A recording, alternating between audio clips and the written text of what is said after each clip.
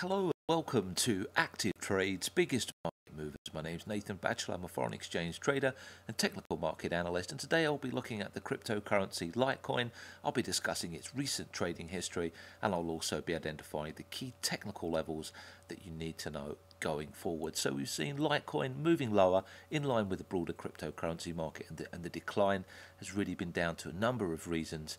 We've seen social media giants Facebook, Google, and Twitter all banning cryptocurrency and initial coin offering advertising.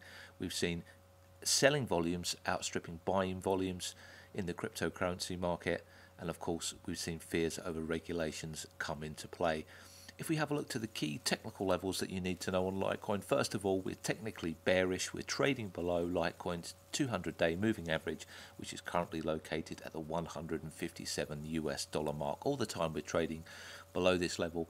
Expect Litecoin to remain under selling pressure. If we have a look to the key levels to the downside, we've got a low in place here, just above that former February low around the 105 US dollar mark. If we move towards that level and break it, expect a decline towards the 100 US dollar mark and below. And of course, if we start taking that level out, expect a further decline towards the 84 US dollar mark.